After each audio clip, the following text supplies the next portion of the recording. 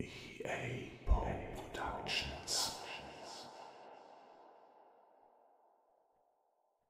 EA Productions liest Märchen aus Litauen. Heute der Streit mit dem Frost und der Sonne.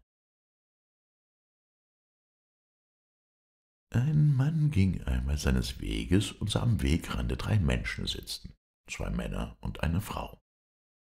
Im Vorübergehen sagte er, Gelobt sei, und geht seines Weges weiter.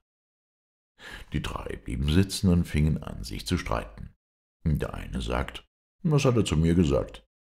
Der zweite, das hat er zu mir gesagt. Der dritte, das hat er zu mir gesagt. Da riefen sie hinter ihm her, Warte!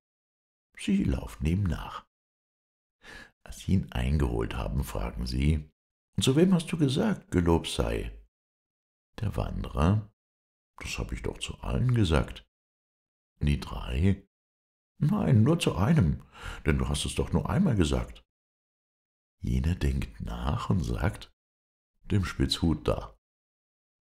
Darauf sofort der andere Mann, na gut, dafür werde ich dich zu Tode frieren lassen.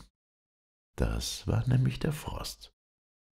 Die Frau sagte, dafür werde ich dich zu Tode brennen. Das war nämlich die Sonne. Der Spitzhut aber war der Wind, und der sagte, Fürchte die beiden nicht, Menschlein, ich werde dir helfen. Sofort begann der Frost es frieren zu lassen. Der Wind jedoch tat nichts und blies kein bisschen. Da wurde es dem Frost zu viel, immer nur frieren zu lassen, und er hörte auf.